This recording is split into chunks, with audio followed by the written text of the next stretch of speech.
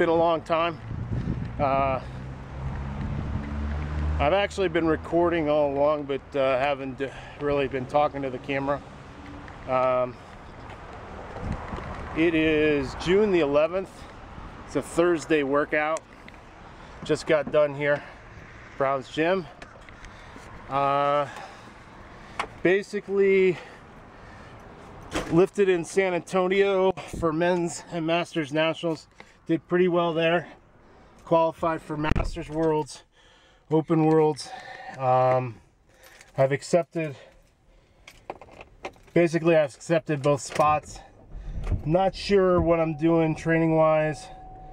Um, Cause here, you know, I, I'm not sure folks out there know the scenario.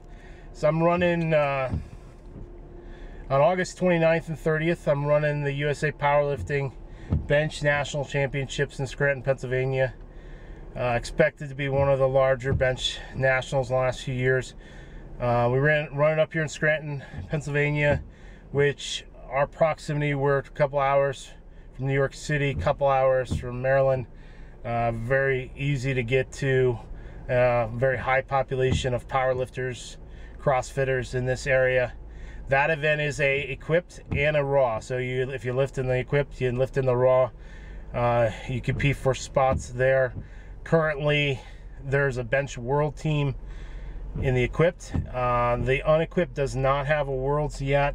Yet, um, there's rumors that it could be as early as this November that that gets decided to add an unequipped uh, bench worlds and so I would think this would be the qualifier if they do add it for next year.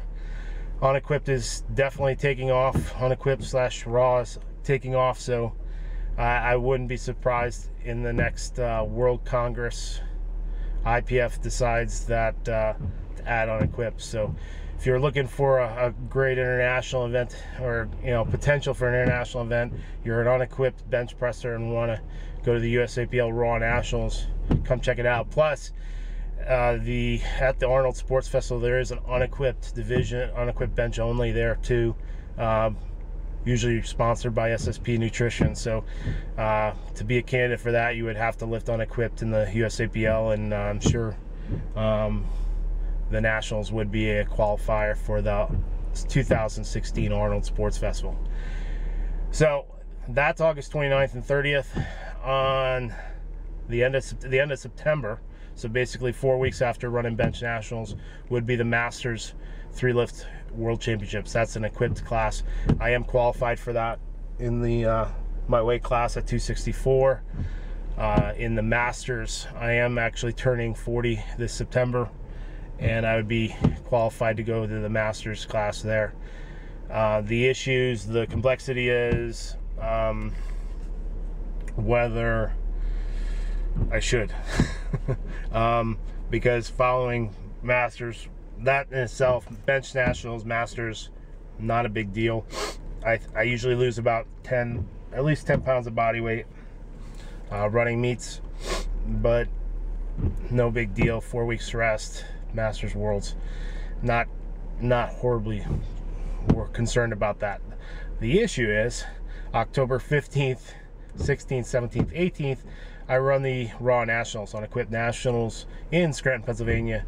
Currently, this is June 11th, I have over 213 lifters entered an application in hand for the Raw Nationals. And Raw Worlds just happened or is happening this week. So all the lifters at Raw Worlds in Finland, good job guys. None of those lifters are entered yet. so the 212, 213 lifters um, are all uh, folks that aren't on the world team for the most part. And uh, so there's a lot of entries. We're taking entries up till September 15th. September 15th is the cutoff. A uh, couple questions come up. Uh, what's the cap? There is no cap. So uh, we, if you're qualified, we will take applications postmarked up through September 15th, or is it September 14th? One or the other.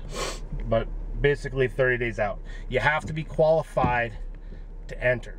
So if you're trying to look at a qualifying meet on September 17th, too late. There's a 30 day line.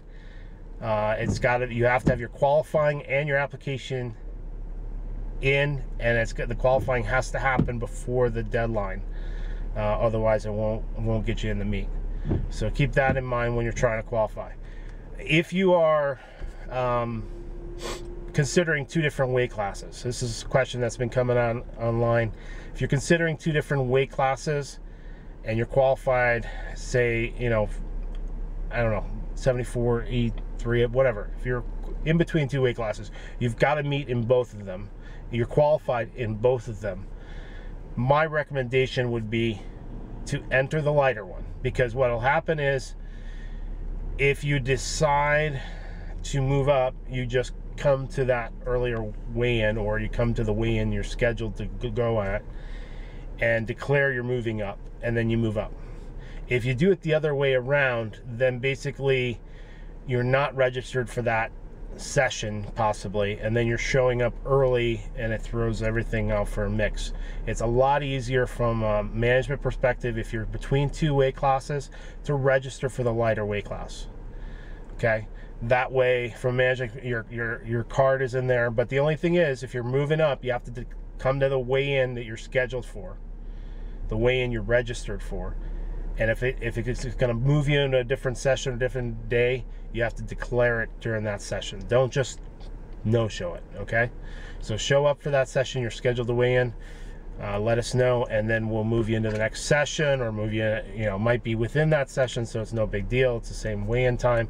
But keep that in mind and that would be my recommendation for folks that are on the bubble. If you've registered um, another one that comes out if you're registered and let's say you've you've registered for 120 kilos but you're trying to go to a qualifier at 105 you want to lift the 105 but uh, you're not sure. So and you've already registered. If this is your scenario just go to the meet. If you've qualified send me an email update me with your event your event total and I'll update the roster and your weight class. Now please remind me. I'm getting, you know, right now we have over 213 applications and we're several months out and we've got multiple meets. If you don't see it day one, let it go for a little bit. Uh, I'll try to, when I make the update, I'll let you know when I make the update.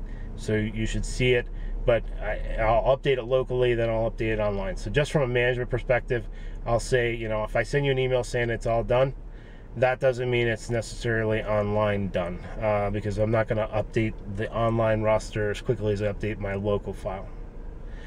All right, uh, that concludes this video. I'm not sure if I'm going to keep doing video today, but uh, you guys have a good rest of today. Um, if you have any questions or anything, send me an email. Uh, all the information, if you're just interested in thinking about it, go to purepowerlifting.com and check out the both the bench and the raw nationals websites. Thanks and have a great day. Take care